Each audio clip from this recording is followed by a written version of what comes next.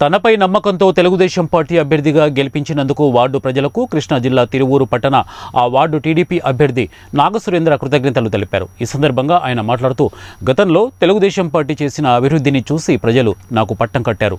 Ward ప్రజల నమ్మకాన్ని బొమ్మ చేయకుండా ప్రజల సమస్యలు పరిష్కరించే వాటి దిశగా అభివృద్ధికి అంకిత భావంతో కృషి చేస్తానని తెలిపారు.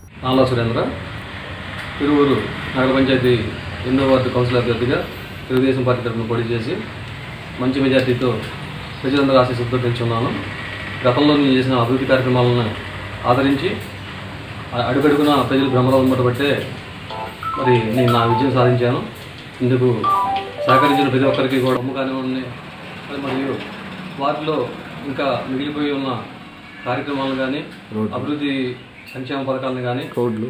రోడ్లు డ్రైన్లు తదితర అన్నిటినీ కూడా కొనసాగిస్తానని మరి మీ అందరి సహకారం ఇదే విధంగా నాకు ఎల్లవెల్లా కావాలని కోరుకుంటూ నాకు ఈ అవకాశం ఇచ్చిన ప్రతి ఒక్కరికి కూడా ధన్యవాదాలు. ధన్యవాదాలు.